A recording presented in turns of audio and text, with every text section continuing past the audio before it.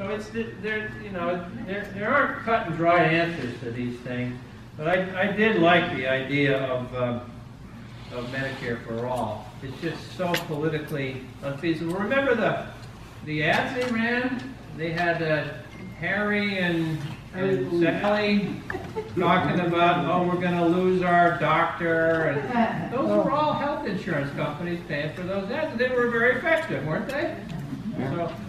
They got a lot of people screaming about, uh, not having a public option.